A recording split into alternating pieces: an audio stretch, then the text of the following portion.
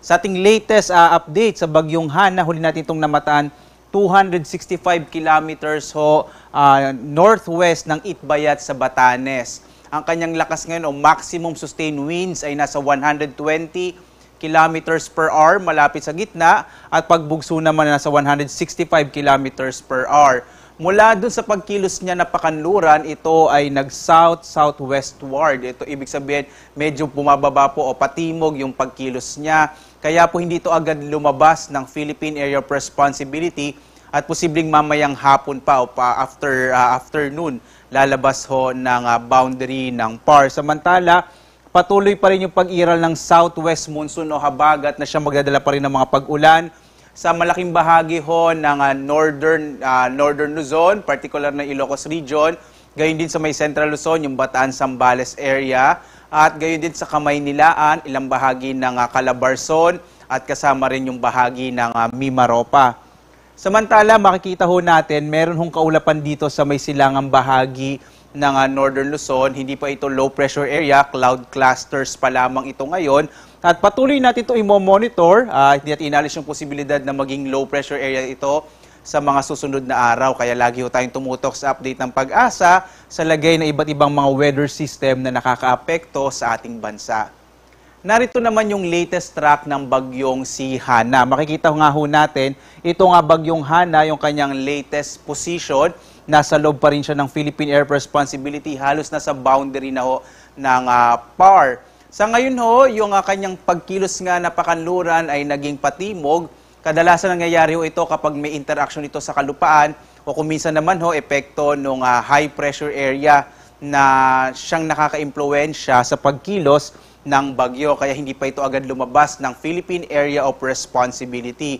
Inaasahan naman natin na yung bagyong Hana, uh, pagdating ho ng um, mamayang hapon, posibleng nasa labas na ito ng Philippine Area of Responsibility kapag nagsimulang kumilos uli ito pahilagang kanluran. Samantala, uh, bukas ho, araw ng Martes naman, nasa around 480 kilometers northwest na ito ng Itbayat sa Batanes. Ang pagkilos niya, posible po itong pumunta sa may bahagi ng uh, mainland China. Ito ay magla-landfall sa may mainland China kung saan ito ay tuluyang uh, uh, mag-deteriorate at manghihina po, magwi-weekend at magiging isang uh, depression o tropical depression na lamang kapag nanatili na ito sa mainland China. Samantala, nakataas pa rin yung signal number 1 sa bahagi ho ng Batanes, yung lalawigan ng Batanes.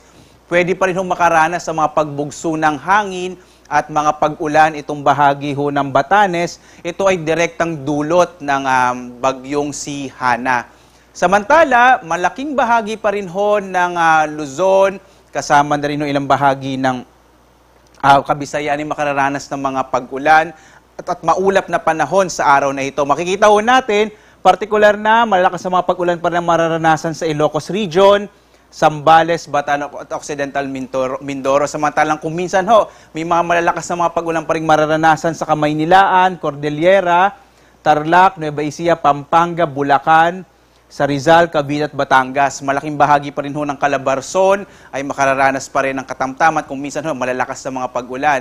Hanggang bukas, makararanas pa rin ho ng mga pag-ulan ang ilang bahagi ho ng Kamaynilaan, sa may Cordillera, partikular ni Abra, Abra at Benguet, ilang bahagi ng Central Luzon, pero kadalasan no, yung konsentrasyon ng pag-ulan natin, yung bahagi pa rin ng Ilocos Region, lalo na sa may Pangasinan, Sambales at Bataan. Samantala ho, by, ito, by dating ho ng araw ng Miyerkules, ang makararanas ho ng mas malalakas na mga pag-ulan or mga malalakas na mga pag-ulan, yung bahagi na lamang ng Ilocos Region, Sambales at Bataan.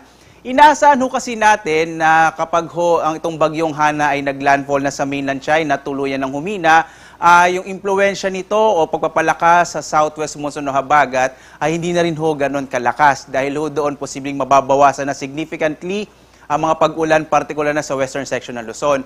Narito ho yung, mga ma- yung mapa ng mga ating mga pag-ulan. Makikita ho natin ang konsentrasyon ngayong araw, araw ng lunes, dito pa rin sa western section ng uh, Luzon. Kasama pa rin dyan yung Kamaynilaan, yung bahagi ho ng Mindoro. Pagdating ng araw ho ng Martes, bukas, yung bahagi ho ng uh, Zambales, Bataan area yung makararanas ng potensyal ng uh, katamtaman hanggang sa malalakas sa mga pag-ulan.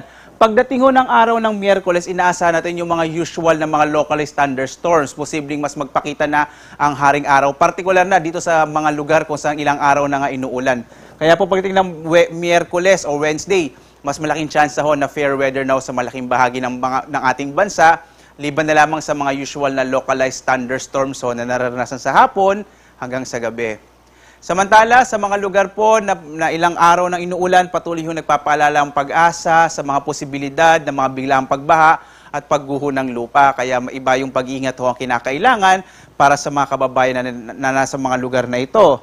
Samantala, posible pa rin ho yung mga pagbugso ng hangin dulot ng bagyong ah, hanging habagat na pinalakas ng ah, bagyong Hana ngayong araw at bukas, malaking bahagi pa rin ho ng Luzon, lalo na yung ah, western section ng Luzon ay makararanas ng mga bugso ng hangin. Pagdating ho ng araw ng Martes, ilang bahagi pa rin ho ng Luzon, gayon din ho, ah, umaabot hanggang sa may Camarines provinces, posible ho yung mga pagbugso ng hangin, dulot ng habagat na pinalakas ng bagyong si Hana. Kapag po naging depression o humina na yung bagyong Hana at tuluyan ng maglaho, ay maglalaho na rin o or ma- mababawasan na significantly yung bugso ng hangin. Samantala ho, nakataas pa rin yung gale warning natin sa malaking bahagi ho ng western na Luzon, kasama din yung western Visayas. Asahan pa rin ho dito sa mga lugar ho, sa may kulay pula ho natin, inaasahan ho natin na magiging maalon pa rin yung karagatan, kaya delikado maglayag yung maliit na sakyang pandagat at malilit na mga bangka sa bahaging ito ng ating bansa. Posible rin ho, makansela yung mga biyahe ho ng mga ilang mga sakyang pandagat sa bahaging ito ng ating kapuluan kung saan may nakataas ay na gale warning. At ah, patuloy pa rin namin kayo na inaanyayahan para sa mga updates ho natin. May ah, meron pa rin tayong 6 hourly update. Yung susunod ho nating update sa Bagyong Hana mamayang alas 11 ng umaga. Pagdating naman ho sa gale warning, magkakaroon ho tayo ng update ho mamayang hapon. Unless may mga pagbabago po tayo, maaaring mas maagang ilabas yung ating ah, gale warning, yung tinatawag na intermediate. At meron pa rin po tayong weather advisory na ilalabas tungkol sa habagat mamayang alas 11 din ng umaga. Meron din ho tayong mga thunderstorm and rainfall advisories na pinalalabas ho ng iba't ibang mga Regional Services Division ng Pag-asa para ho sa latest update. Normally, tatlong oras, every 3 hours po ina-update itong mga thunderstorm and rainfall advisories.